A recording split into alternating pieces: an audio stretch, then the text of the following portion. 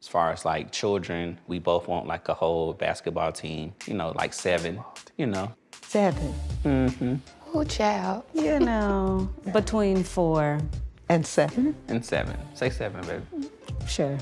We also both want a destination wedding. So if you do want to come, you invite. Okay, I will say a difference though. I would like an intimate wedding. Shon want the whole football team. It's going to be hard to have less than 13 groomsmen. It will be less than 13 groomsmen.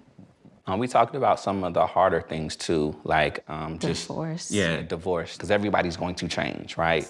But if either one of us changes into a person that you know is not conducive for the marriage, then divorce would be an option.